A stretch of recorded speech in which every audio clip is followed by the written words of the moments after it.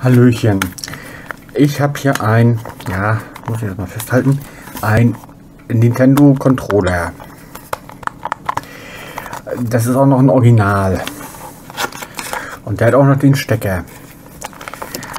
Ich habe jetzt überall gesucht, ich weiß nicht, wo ich meinen habe für den Amiga oder C64. Und ich habe im Internet geguckt, ja, der sieht auch nicht mehr so schön aus, äh, wie man den hier für den Amiga bzw. C64 benutzen kann. Es geht wunderbar. Ich habe ihn auch schon mal aufgemacht. Das sieht da drin so aus. Ich habe mir auch schon ein Kabel besorgt. Naja, besorgt. Sagen wir mal. Äh, von einem Gerät geklaut. Da habe ich hier so ein Kabel. Das ist sowieso schon am Ende ein bisschen hinüber. Und hat Kartenfehler. Mhm. Kartenfehler. Das kann doch nicht wahr sein. So, Kartenfehler jetzt weg? Weiß ich nicht. Ähm, hat hier am Ende halt ähm, den neunpoligen Anschluss. Und hier sind acht Kabel. Und ich glaube, ich brauche nur sieben. Ich werde das jetzt äh, aber nicht so machen, dass ich es komplett zerstöre. Ich werde hier die Kabel ablöten. Das ist hier auch schön drauf beschrieben mit äh, weiß, orange, rot, braun und gelb. Wenn ich da ablöten, muss ich ablöten. Das IC muss ich rauslöten. Und die Kabel kommen dann hier ran. Plus eine Brücke, so wie ich das jetzt hier sehe auf dem Bild, kann ich das so einfach dran löten, ohne hier eine Leiterbahn auftrennen zu müssen oder sonst irgendwas. Dann kann ich diesen Controller äh, für Amiga benutzen. Ja, ich weiß, macht man eigentlich nicht, aber irgendwas muss ich ja haben, damit ich überhaupt irgendwas habe. Den werde ich erstmal reinigen dann und und und. Soweit ich das jetzt sehen kann, ist hier keine Bahn oder sonst was aufgetrennt. Ne. Das IC hier drauf ist ein Schieberegister. Da habe ich schon mal geguckt, wie das funktionieren könnte damit, aber das weiß ich nicht. Äh, gut. Ich mache das dann mal soweit fertig. Wir sehen uns dann gleich wieder. So, nun habe ich die Platine erstmal soweit draußen. Weiß nicht, ob muss ich die Widerstände auch rauslöten. Mal gucken. Hier sind noch Widerstände drauf. Hier am Ende.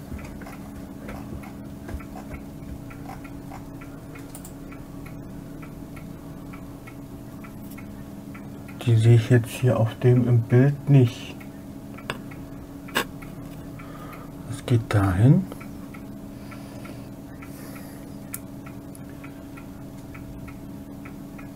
Ich guck gerade mal nach. Geht darüber.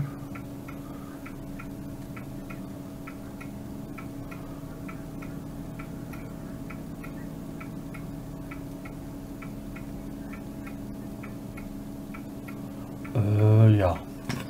Ähm, ich lasse sie erstmal drinne. Und schau mal. Jetzt will ich aber noch mal eine Sache ausprobieren. Wenn ich das hier drin habe, da noch genug Platz. Weil das Kabel kann ich mir ja weglegen, aber das IC, das will ich nicht verlieren. Wenn ich das jetzt hier, oh, ist egal.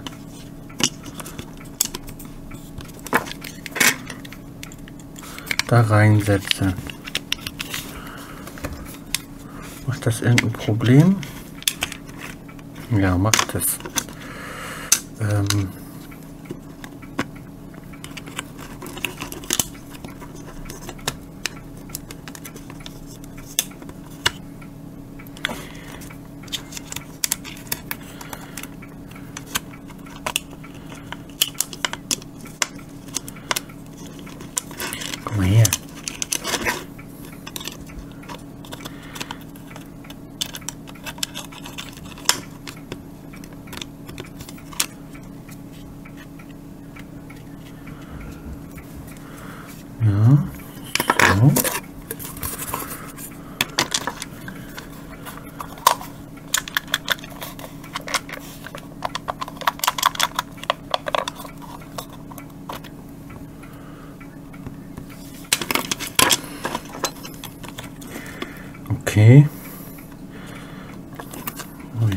andersrum? Es ist zu hoch.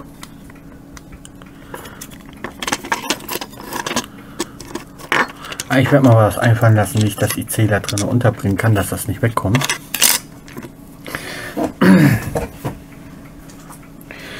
Und jetzt nur noch die Platine reinigen, Controller reinigen, äh, die Dinge hier alle reinigen, das hier reinigen, den ganzen Kram. Das Ding ist doch schon sehr dreckig. Und dann die Kabel anlöten. Da werden wir uns wiedersehen, wenn ich soweit fertig bin.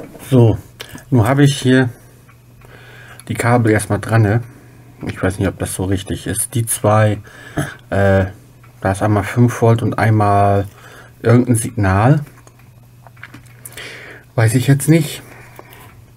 Jetzt muss ich nur noch eine Brücke machen. Und gucken, ob das dann auch hinhaut. Natürlich vorher wieder zusammenbauen. So, ich hatte eben hier ein bisschen Stress, weil mir einer von den Knöpfen so weggeflogen ist, dass ich hier äh, in Anführungsstrichen meine halbe Mühle durchwühlen musste, um den wieder zu finden. Das ist der zweite Knopf. Ich habe mich schon gereinigt, aber ein bisschen haben sie schon. Aber hier, der sieht eigentlich wieder relativ gut aus. Gut, der lag jetzt hier irgendwie ein bisschen in Asche. Äh, der hier, da muss ich noch einmal kurz die Löcher sauber machen. Ähm, aber sonst ist der soweit wieder okay.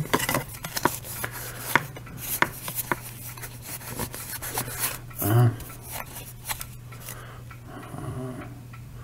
Naja, naja, okay, sagen wir mal so.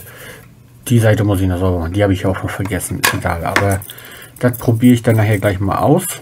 Das Kabel ist jetzt auch nicht gerade das hübscheste. Ich versuche es sauber zu kriegen. Und wenn das soweit klappt, dann werden wir uns auf dem PC äh, bzw. auf dem Amiga wiedersehen. Äh, wenn ich da irgendein Spiel spiele mit China Sisters oder Arcanoid oder wie das heißt. Ach so, eine Sache muss ich noch ansprechen. Bei dem hier ist mir erstmal aufgefallen, der eine ist hier eingerissen. Das wird aber nur der eine Knopf sein, den ich da benutze.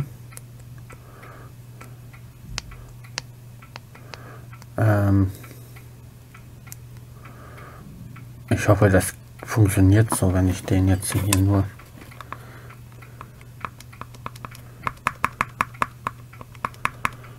Ja, es funktioniert.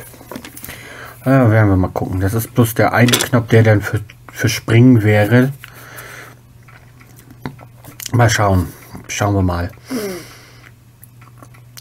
Ich versuche mal die Seite, wo ich das her habe, zu verlinken. Ja, nee, geht nicht. Ich habe jetzt äh, gerade äh, ein ja, PC-Absturz gehabt.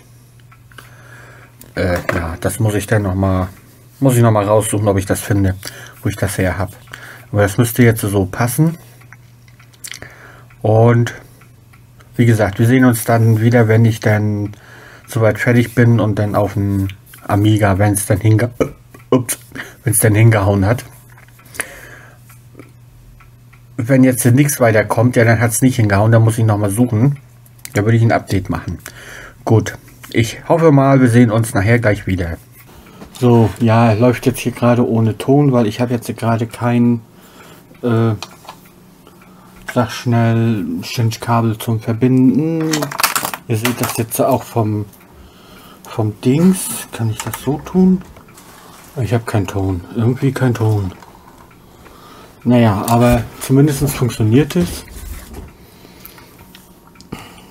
Jetzt lädt er nochmal.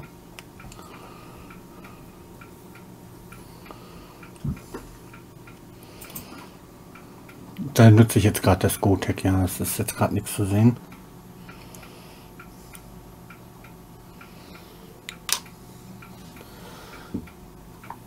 Nee, ich habe keinen Ton.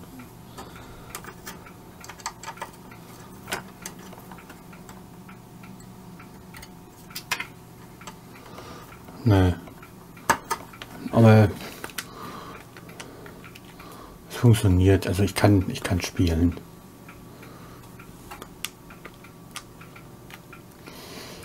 Ich habe schon so lange nicht mehr gespielt. Aber ich kann spielen. Und dafür, dass das ein RF-Ausgang ist, ist das Bild top.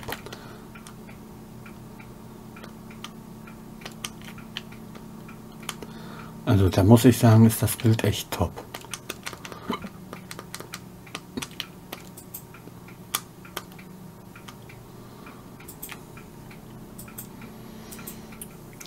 Gut, aber es funktioniert. Ich habe jetzt bloß halt keinen Ton hier über den RF-Ausgang. Ich weiß gar nicht, ob hier überhaupt ein Ton rauskommen kann. Äh, kann sein, dass das hier an dem RF-Ausgang nicht hinten am Schalter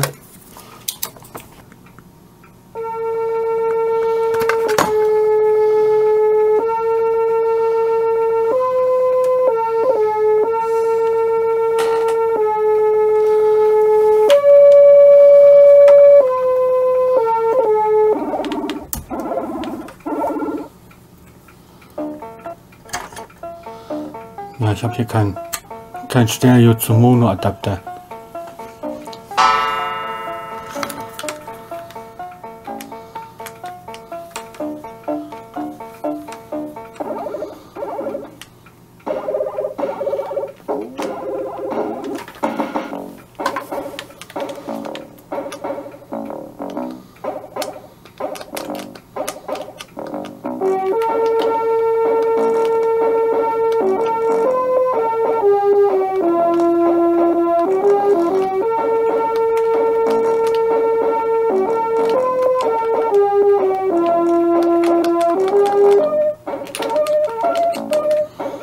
Kommt jetzt auf dem anderen Kanal raus.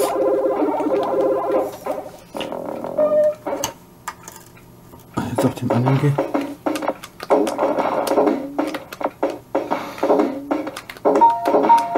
Das ist glaube ich jetzt gerade der linke Kanal.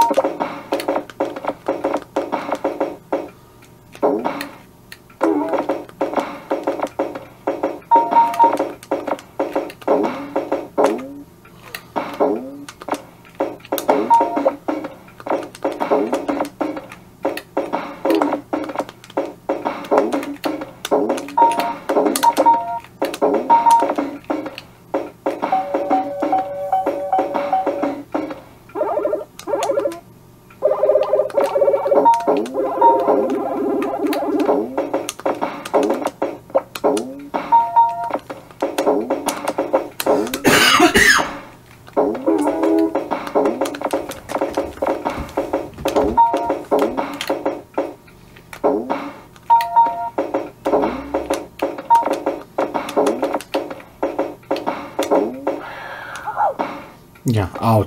Ja, ist egal. Ähm, das soll es jetzt, jetzt gewesen sein. Also Ton kommt doch noch. Ich habe bloß halt kein Cinch-Kabel, wo das passt. Und Controller geht, wunderbar.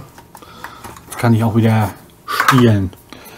Ich habe zwar einen, aber ich weiß nicht, wo der geblieben ist.